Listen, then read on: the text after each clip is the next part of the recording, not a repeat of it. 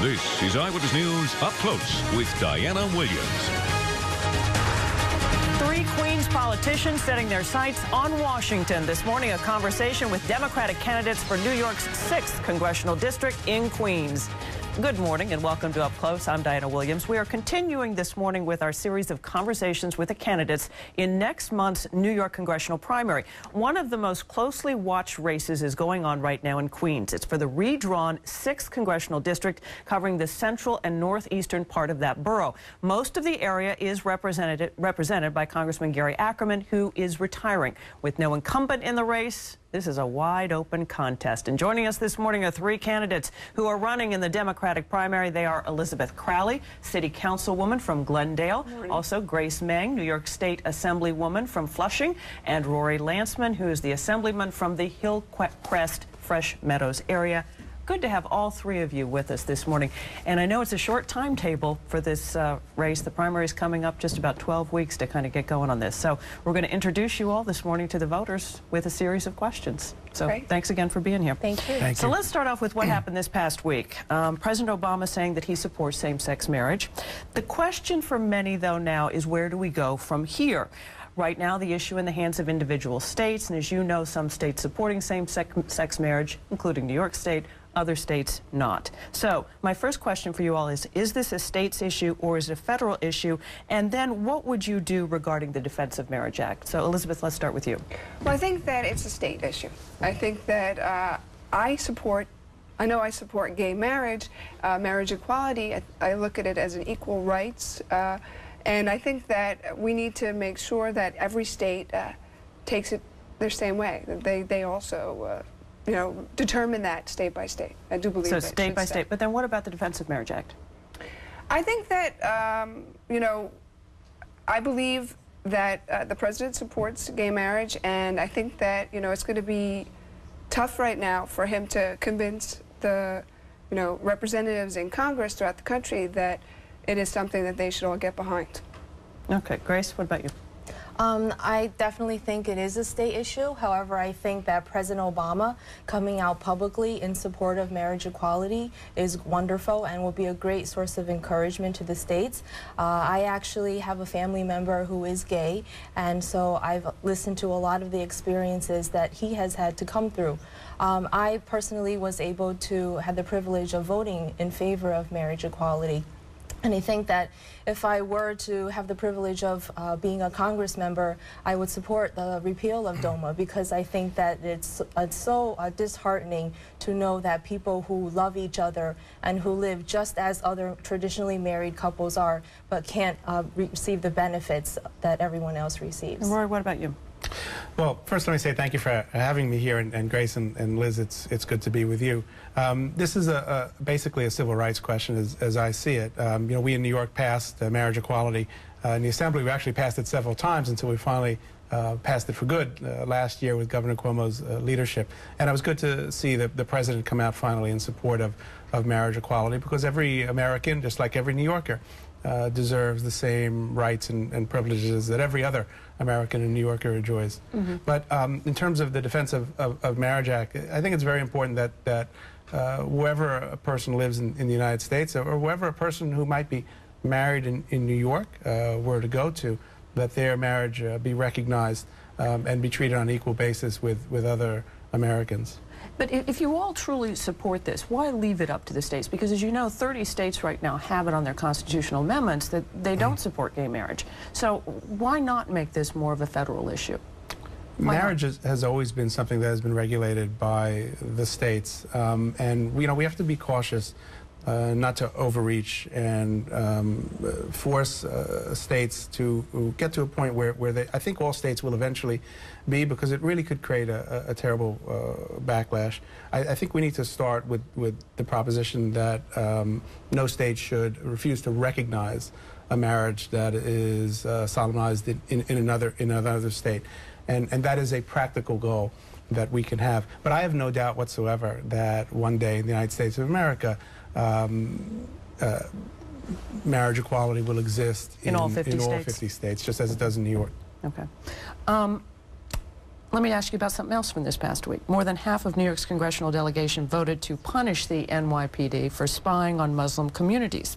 So I wonder, how would you vote um, if that were a proposal that was in your lap? And should the NYB, NYPD be punished or, or not?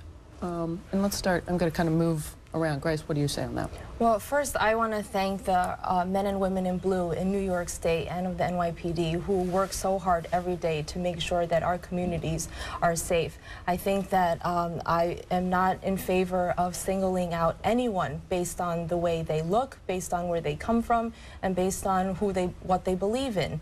Um, that being said, I think there's a lot of room for improvement between building bridges and making sure that uh, the NYPD and the Muslim community here in New York truly understand each other, and that's the best way to um, increase communication but and how, how, would you have voted if that were put in your lap? Would you have voted with that delegation? Yes, I would have. You would have. Okay. What about you, Rory? Well, uh, as someone who's proudly worn the uniform of this country, I was the infantry platoon leader in, in New York's own 42nd uh, Infantry Division and, and the author of five very substantial homeland security laws that I passed in, in the legislature to keep our cities uh, safe from, from terrorism. I, I take the issue very, very seriously. Uh, and, I, and I support, broadly speaking, uh, the NYPD's efforts to gather intelligence and make sure that they can stop and prevent the next terrorist attack. Uh, attack. But there seem to be some clear instances where the NYPD's tactics have raised questions. I mean, there was one example where the NYPD sent uh, an agent uh, on a rafting trip with a Muslim student association. It's hard in my mind to see how that would be justified.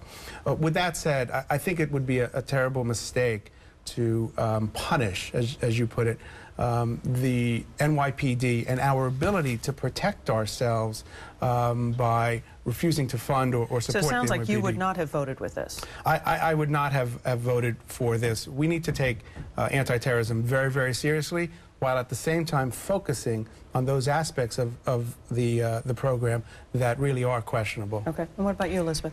I, too, I would have, uh, as Rory has mentioned, voted no. I think most of the New York City uh, Democratic delegation supported this effort. What they said was that we would take money away from the NYPD, no federal dollars. How could we say that? We're still the number one target for terrorists, more so than any other place in the world. I'm proud to be uh, supported by the PBA, who represents uh, the police officers who risk their lives for our safety every day, the captains union as well. They know from my work on the City Council as the chair of the Fire and Criminal Justice Committee how important counterterrorism is and how they spend every single dollar they receive from the federal government, whether it be for regular aid or homeland security, we are not receiving enough funding. Mm -hmm. And we cannot vote to cut funding. It's just absurd. Okay, okay. I want to move on to another question here. Signage in Flushing. I know you are all very familiar with the signage problem there.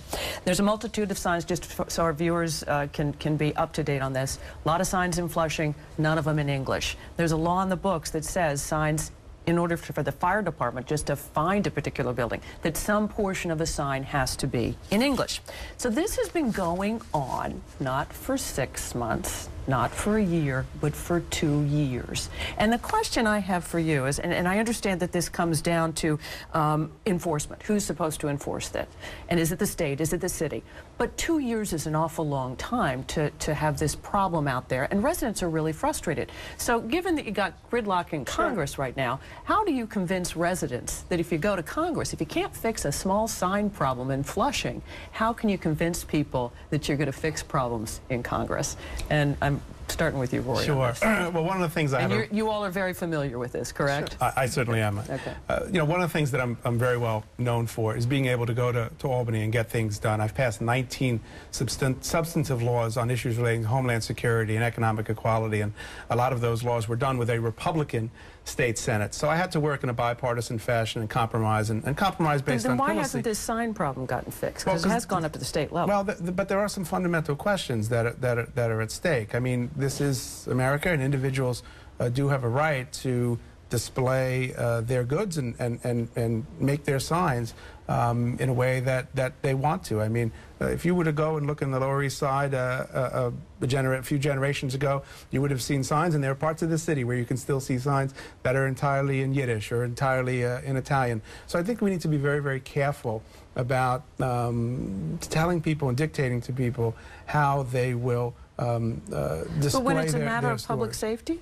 Well, I, I think uh, a legitimate public safety question would could be resolved by requiring people to prominently display the address on their their sign. And I think we need to be honest with ourselves and understand that this question, this issue, is not entirely about public safety.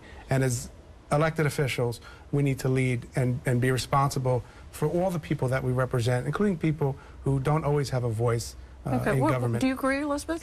I think it is a public safety issue, and I think that uh, you should have somewhere on the sign. And I think right now, English on in the sign. English, right? And it should be approved by the Department of Buildings. Whether the sign is safe physically, you need a permit for a sign in the city, and they should make sure that on that sign that as well, you know, as long as uh, it has some identification for the emergency response team. Right now, our 911 call, 11 call takers are having trouble getting information out. Uh, Uh, and, you know, that's been on the news for a while, and I've been critical of the administration because they're billions of dollars over budget. Now, I believe that when an emergency call is put in, you know, mixed up information does go to the 911 call taker. Right, but the issue here is, is it's been taking mm-hmm. so long, and this has gone to city council too, this issue. I think because the So issue is that people feel that their identity or their ethnic background is getting attacked as well, or the ethnicity behind the business. But uh, it's simple. I think that you just need a small writing uh, and, and for the address to be prominently displayed as well. Okay, Grace? Well, this issue, um, if I remember correctly, doesn't just span over the time of two years. It's actually uh, an issue that's been going on, at least in the Queen, Northeast Queens area. Even longer, uh, For perhaps. Even longer, uh, decades actually. There has, there is actually a current state law on the books Hmm? that requires uh, English signage to be displayed. It's a little antiquated. Uh, for example, it doesn't apply to any businesses who are leased properties, and Right. also it doesn't specify which city agency would enforce it. Exactly, which has been the problem. Who's right. supposed to enforce the law that's already on the books? Right, So, so- again, why Right. is nothing? Why, Well- and how do you convince people you'll get something done in Right. We, well, we were, are working on it. Um, I've been in office for three years. During the second year, our local council members introduced legislation that the Consumer Affairs Department uh, in New York City would enforce it, and they have a ratio of English to non-English um, signage, lettering. Um, I recently have introduced legislation in the New York State Assembly also that gives authority to an agency, finally, to an agency that would be able to enforce it. Uh, some people, there, there, no one will ever be completely happy on this issue. Some people want the NYPD to enforce signage, which I don't think is necessary. But it's an issue of do you think it's a public safety issue? I do think it's a public safety issue. It's two-pronged. One, it's a public safety issue, and one, we want to make everyone feel comfortable, and it increases business. It's good for the economy. Okay. We're going to have to take a break. Mm-hmm. We'll be right back with our candidates for the 6th Congressional District here in New York right after this.